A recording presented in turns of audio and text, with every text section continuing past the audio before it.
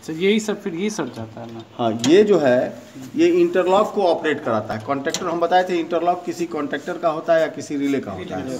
तो इसमें इंटरलॉक जो है, ये देखो इधर से आओ, यहाँ से आओ। ये ये जब दबेगा तो यहाँ देख रहे हो, यहाँ देख रहे हो, ये कुछ सटा हुआ है, यहाँ सटा हुआ है, ये खुला हुआ है। ये इधर सटा हुआ है, ये खुला हुआ है।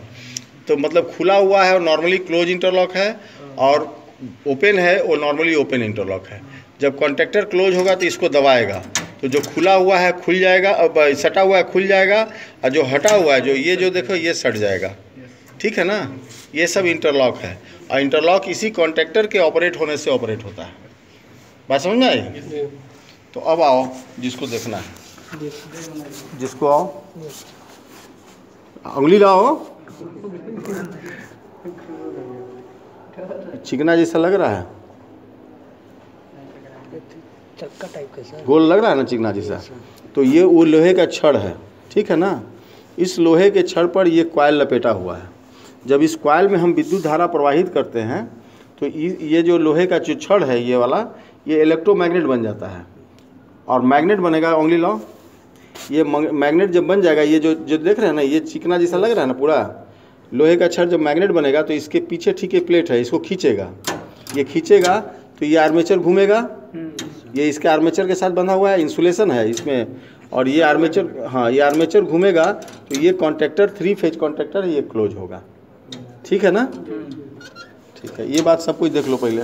ये बात ये है? सर इसको अभी वो नहीं अभी वो नहीं पहले आप, छोड़ो। इतना समझ लेना चलो आगे बढ़ो। जो सर ये ये क्या है? ये कहीं नहीं सर ये ये- अभी फ्लेक्सिबल संट ये इसको ये तार है इसी को कहते हैं फ्लेक्सिबल संट ठीक है यही फ्लिस- ये बिजली जाता है। ये हो गया फिक्स जॉ ये हो मोबाइल जॉ देखो तुम पहले उससे मत ये ये हाँ चिक- देख रहे हैं सर ये ये चिकना जैसा हाँ, लग रहा है ना? इसी के ऊपर ये कार तार लपेटा हुआ है। जब ये प्लेट मैग्नेट बनता है तो इस पीछे वाले प्लेट को खींचता है। खींचेगा? मैग्नेट बनेगा तो खींचेगा। खींचेगा तो ये कॉन्ट्रैक्टर क्लोज होगा।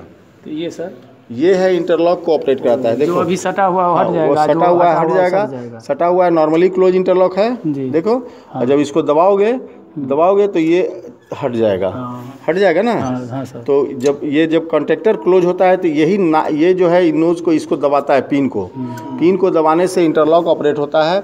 जो सटा हुआ है तो ये अब जब तो देखो हाँ। जब सटा हुआ है तो ये जो सर्किट है ये जो सटा हुआ है अभी सर्किट को जिसमें गया हुआ है। नहीं ये सर्किट को जोड़ के रख जुड़ा हुआ है। अभी इस सर्किट को में बिजली जा रही है।